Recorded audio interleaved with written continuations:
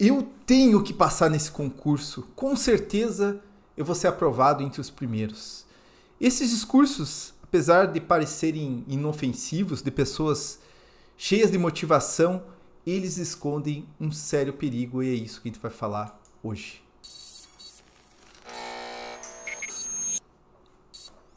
Fala, concurseiro! Meu nome é Guilherme Guimarães, eu sou especialista em concursos e vejo muita gente cair nessa armadilha, que é ter um tipo de discurso que gera muita ansiedade, que gera pessoas que têm grande possibilidade de desistir mesmo do mundo dos concursos. Porque, como diria aí um dos primeiros a falar sobre concurso, concurso você faz até passar. Concurso é uma longa jornada. E muita gente acaba entrando numa, numa questão muito perigosa, que é você começar a olhar para si mesmo e falar: não, não, eu tenho que passar nesse concurso, é esse concurso, é agora ou nunca. Isso gera ansiedade, isso gera uma expectativa que é irreal. E é o que eu quero explicar para vocês. Tudo que eu vou falar hoje é baseado no estudo de um psicólogo chamado Albert Ellis, que fala que tem um estudo de coaching, de, de coaching racional, de, de trazer uma, uma questão mais pé no chão nas expectativas, sobretudo. Então, eu quero antes falar e convidar você para o curso do Método Volts, que é um passo a passo de como que você estuda. Porque, veja, a gente está falando de concurso, concurso não é ir até ali, até a esquina, não é a mesma coisa que você fazia na tua faculdade, na tua escola, é você tentar estudar da melhor maneira possível. Você ter um planejamento de concurso, você criar uma disciplina, você gerir seu tempo, você lidar com as matérias do edital. E o método Volts vai te ajudar nesse processo porque eu trouxe tudo, tudo realmente que eu aprendi com anos aí de experiência, seja acompanhando alunos, seja sendo concurseiro. E olha que legal aqui, ó. Vou mostrar para vocês só, só um módulo, só um módulo porque eu sei que muita gente se chateia com muita propaganda, mas módulo de exercício aqui, ó. Então no módulo de exercício eu vou colocar fazendo questões de maneira cirúrgica, que é um método bem legal de você dividir questões por subtópicos.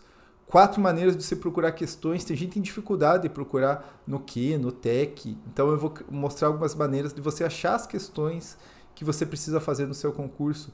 Como que você filtra questões? Como que eu procuro questões para fazer? E caderno de erros, a melhor ferramenta para você não errar mais. Eu acho o caderno de erros uma das, das melhores ferramentas de estudo que é, eu já usei e vários alunos aderem bastante ao caderno de erros. E a pergunta que não quer calar: quantas questões fazer, quanto acertar, quando fazer simulados e como verificar a quantidade de questões e acertos. Veja, é um passo a passo com base em perguntas que vai te ajudar você a passar no concurso Teus Sonhos. E vou fazer uma promoção aqui. A gente, a gente dificilmente faz promoção. Quem entrar em contato comigo lá no Instagram, fala, Guilherme, via propaganda lá, eu vou dar mais de 15% de desconto. Você vai ver, vai valer a pena. Entra em contato comigo lá que eu falo como você tem que proceder. Beleza? Vamos então falar um pouco desse grande problema que assola muitos concurseiros, que é o excesso de ansiedade que é essa expectativa irreal, que é esse negócio de eu vou passar, tem que ser esse concurso, meu Deus. E a pessoa entra num ciclo terrível. E o grande problema é está na nossa forma de pensar. Veja, tudo isso leva o aluno a um caminho muito complicado. Vamos pensar em dois alunos que são exatamente iguais, gêmeos idênticos. Se um, se os dois, né, forem fazer um concurso e reprovarem, veja que um pode ter uma reação terrível, pode falar, puxa, é o fim da minha vida, vou me suicidar. E outro pode falar, não, é só um algo que faz parte da vida, sobretudo do concurseiro, vou continuar fazendo concursos. Veja, duas pessoas iguais que, vamos aqui supor que tiveram a mesma preparação, passaram pelas mesmas coisas, mas agiram de maneira diferente. Então a gente não pode culpar o concurso pela nossa ansiedade. A gente não pode culpar um evento pelo que a gente sente. A gente tem que entender que muitas das nossas ansiedades elas vêm da forma de pensar. Então o problema está na nossa forma de pensar, a maneira como que a gente encara o concurso público. Isso daqui pega muita gente, é muito complicado. E daí a gente vai aqui para o segundo ponto. E qual que é o segundo ponto aqui? O segundo ponto é que a gente precisa aceitar que a gente não tem controle sobre tudo. Então, uma pessoa que começa a falar assim, não, eu vou passar com certeza, esse, eu estava vendo aqui, não, eu vou passar em primeiro lugar, vou passar. Ela não entende que ela não tem controle sobre tudo. Você não sabe o que vai acontecer no dia da prova, você não sabe como que a banca vai se comportar, se ela vai seguir o que já vem sendo aplicado nos últimos concursos, se ela vai ser justa. Você não sabe nem como os outros candidatos estão se preparando. Ah, professor, mas eu estudo muito. Meu irmão, vou pegar o exemplo da PF. Tem pessoas que eu estava conversando hoje que são excelentes do último concurso, ficaram por aqui, ó, de passar na última prova, por um, dois pontos, vão fazer de novo esse concurso. Então, a gente não tem controle. Essa é a grande realidade da vida.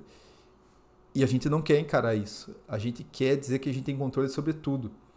E muitas vezes essa mentira nos leva a alguns lugares, mas outras elas nos levam à frustração, porque é muito difícil a gente aceitar que vários fatos vários fatores estão fora do nosso controle.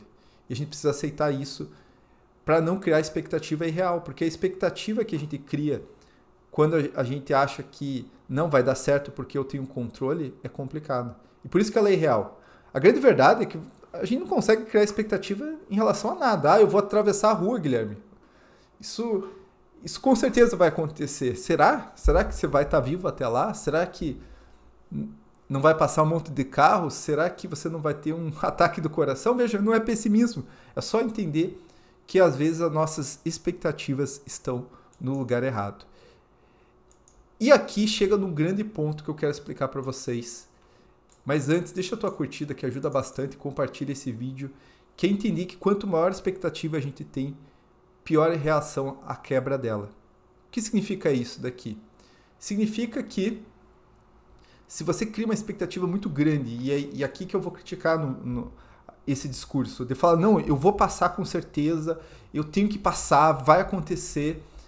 Se ela quebrar, se você não passar e, e pessoal, é a regra, né? A maior parte das pessoas não vai passar na maior parte dos concursos, pior vai ser a sua reação à quebra dela. É a mesma coisa que você pensar duas pessoas que querem que não chova na praia. A primeira porque vai passar uma tarde na praia, ela não quer que chova. Se chover, ela vai ficar chateada. Mas veja, é uma expectativa leve. Né? Eu só não gostaria que chovesse, porque eu quero me divertir na praia. Agora a segunda vai se casar. O sonho dela é se casar. E se casar na praia. Se quebrar a expectativa dela de, do, de chover, ela vai ficar não só triste, ela vai ficar frustradíssima ela vai chorar, ela vai achar que é o fim do mundo, ela vai achar a pessoa menos sortuda do mundo, a pessoa mais azarada. Veja que quanto maior a expectativa, pior a reação à quebra dela. E isso acontece muito em concurso, eu vejo muitas pessoas alimentando demais a expectativa. Pô, Guilherme, então você quer dizer que a pessoa ela tem que ela não pode preferir nada, não pode querer passar no concurso? Não, não é disso que eu estou falando, eu estou falando de outra coisa. Estou falando você trocar exigência por preferência. E aqui eu quero mostrar um caminho para a gente lidar melhor com isso. Eu não quero que você deixe de querer passar no concurso, aliás, eu quero que você queira muito passar no concurso. E faça por onde, né? Estude, se prepare, compre meu curso, compre bons materiais e se dedique com muita disciplina e metodologia. Mas o que eu quero falar é que você tem que trocar essa exigência por uma preferência. Como assim? Você tem que olhar primeiro que essa, essa pressão que você coloca sobre si mesmo, essa exigência, ela só te faz mal. Você tem que entender isso. Entendendo isso, você tem que falar assim: olha, eu quero passar no concurso, eu prefiro passar no concurso, mas se não acontecer, não é o fim do mundo. Eu prefiro passar no concurso, mas se não acontecer, é só um inconveniente, é só parte do processo. Eu reprovei 17 vezes. E posso dizer, você precisa encarar isso daí. A regra é não passar. Ah, mas eu estou me preparando bem. Milhares de pessoas estão. Ah, mas eu estou estudando todo dia. Milhares de pessoas estudam todo dia. Ah, a maior, a maior parte dos concurseiros é enganador. É verdade, mas mesmo assim nós temos um grande grupo de pessoas que estão se dedicando. Então, a maneira de você lidar melhor com isso é você parando, olhando no espelho e falar: puxa, eu queria muito passar no concurso, mas se não acontecer, não é o fim do mundo. E trocar o pensamento de tem que, eu tenho que passar, eu vou passar e vai acontecer por uma preferência.